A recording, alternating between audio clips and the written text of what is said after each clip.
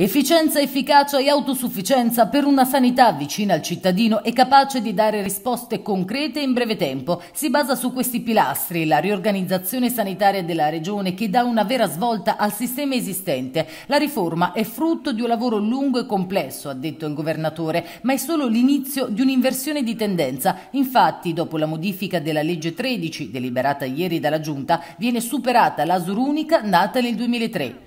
All'epoca, precisato Acquaroli, c'erano esigenze completamente diverse e in 19 anni la regione è cambiata profondamente, soprattutto nella conformazione dei territori, dall'invecchiamento della popolazione alla denatalità nelle aree interne, variabili rilevanti nel piano sociosanitario. Tra l'altro, uno studio del fabbisogno svelerà le richieste e le carenze nell'erogazione dei servizi. Intanto si va verso un percorso che porterà all'entrata in vigore della legge entro 45 giorni, alla soppressione dell'ASUR il prossimo 31 dicembre e all'avvio delle nuove AST, cioè le aziende sanitarie territoriali, dal 1 gennaio 2023. Nella stessa data, l'azienda ospedaliera Marche Nord verrà incorporata nell'asta di Pesaro Urbino, una delle cinque previste dalla riforma. Queste, insieme all'Irca di Ancona e all'azienda ospedaliera universitaria delle Marche, andranno a formare gli enti del Servizio Sanitario Regionale. Ciascun ente si articolerà in distretti, dipartimenti e uno o più presidi ospedalieri. Inoltre, come ha spiegato l'assessore alla sanità Filippo Saltamartini, le singole aziende dovranno rispondere a tutte le domande delle prestazioni sanitarie e dovranno auto-organizzarsi già nel prossimo gennaio con l'atto di conformazione. Previsti anche degli uffici dedicati alle relazioni con il pubblico e i direttori generali dovranno garantire dei riscontri tempestivi. I procedimenti, infatti, dovranno avere risposte entro 30 giorni. La sanità, aggiunto l'assessore, dovrà essere giudicata dai cittadini che in forme diverse potranno valutarne la qualità, mentre la conferenza dei sindaci dovrà esprimersi sui bilanci e sugli atti di programmazione delle aziende, oltre a dare un giudizio sul direttore generale, un parere obbligatorio ma non vincolante. I cittadini dovranno apprezzare concretamente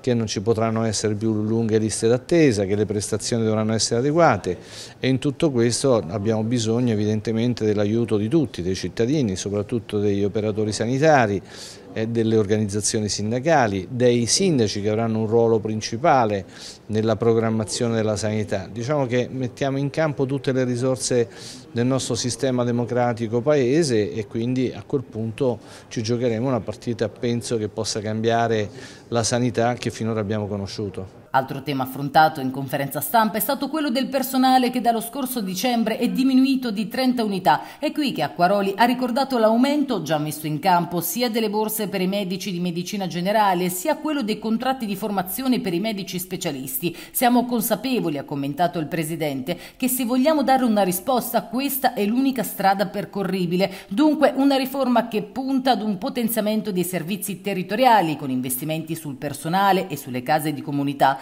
una sanità di prossimità senza ospedali unici e soprattutto un ruolo più importante affidato ai comuni e a tutti i cittadini perché rende protagonisti i territori rispetto ad una dinamica che finora li vedeva sempre più poveri e meno eh, pieni di servizi e di opportunità. Sicuramente non è solo con una legge, l'individuazione e la votazione di una legge che si superano tutti i problemi, ma è un nuovo inizio che cambia il modello e il presupposto.